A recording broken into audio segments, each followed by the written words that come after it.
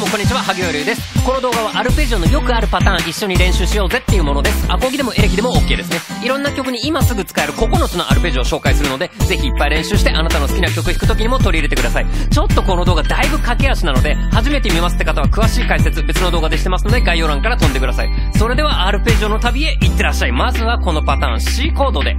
53235323弦を順番に弾いてックでも指でも OK です。最初に弾いてる5弦の音これルート音と呼びます。R って書いておきますね。でこれができるようになったらこんなコード進行で。次が a マイナー。からの d マイナー。そして G これを2周繰り返します。これルート音だけが弦を移動します。それ以外は左手は変わるけど右手は変わらない。アルペジオって基本こうやって作られてます。この動画ではこの後のパターンもこうやって紹介していきます。はい OK です。次はパターン2ちょっと弾く弦変わります。53215321です。指で弾くなら親火と中薬で1本ずつ担当させるのがいいかな。それではコード回していきます。はい。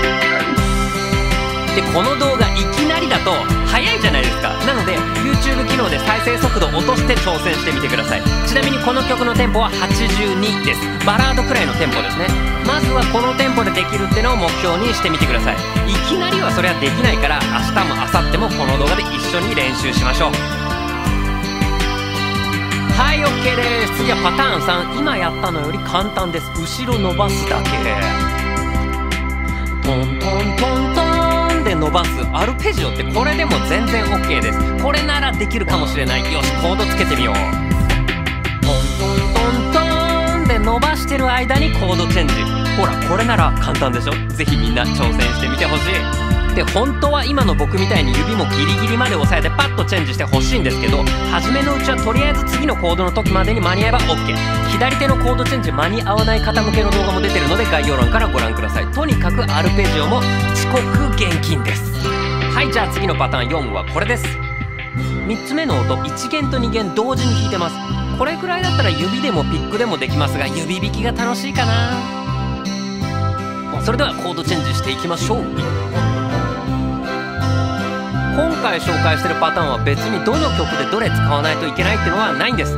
ちょっとずつ印象が違うってだけなので好きな曲に好きなパターン使えばいいし1つしかできなくてもその1つで十分弾き語りとかできます。でもパターンが増えるとコーディネートのバリエーションが増えるというかねこれがまた楽しいのでぜひこの動画の9個を全部お持ち帰りくださいませはい OK 次はパターン5これ指弾き推奨ですね。ルート音と一緒に1弦も弾く。最初が一番低い音と一番高い音のハモリから入ってるっていうすごい花のあるパターンなのでサビとかに使ってほしいよし行こう。これは最初にルートと1弦を確実に鳴らさないといけないからちょっと難しいかもしれないですね。ここの1弦スカると結構ダサくなっちゃいます。D マイナーとか G の1弦って苦手な方結構いますよね。個別の動画で弾き方解説してるのでよかったらそちらもご覧ください。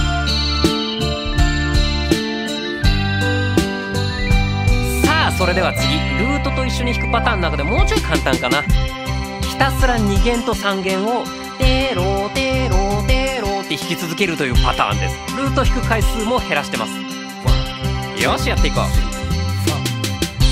う親指はコード変わる時だけルートを弾くそして2弦と3弦はひたすら繰り返す実はこれだけでも十分なんですよ少し柔らかい印象になりますよねこのルートの回数減らすってのは今日紹介してる他のパターンでも応用できますのでいろいろ試してみてください。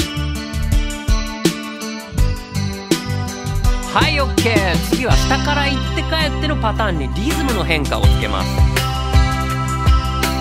トントントントンってこのトーンって伸びてるとこが気持ちいいと思います。J−POP の歌物とか相性最高ですね。よしやっていこう。だいぶ曲を弾いてるっていう感じなるんじゃないかなって思います。ただこういうパターンってリズムがぐちゃぐちゃになりやすいのでしっかりとリズム感も練習していかないといけません。今回のこの動画みたいなリズム感トレーニングの曲もあるのでぜひそちらも何度もやってください。は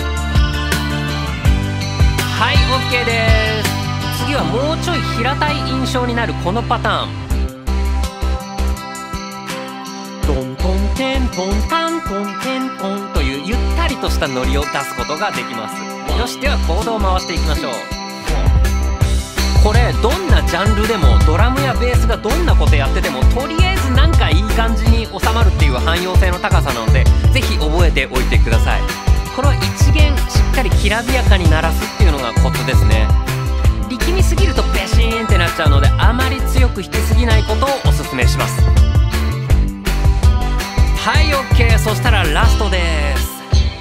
普天8分音符を含む16ビート系のアルペジオを紹介します。タンタンタンタンタンタンっていう風になってます。これまでのパターンよりおしゃれになると思いますがその分リズムが難しい。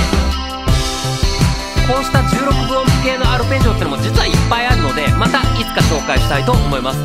それまではこの動画で上げたパターンいっぱい練習しておいてください。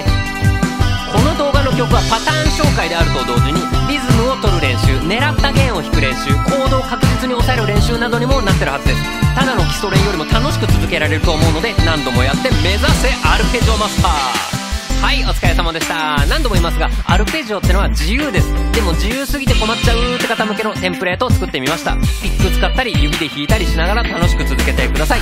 他にも似たような動画たくさん出してますのでそちらも併用してください。努力した分だけもっと楽しくなるのが音楽です。頑張ってね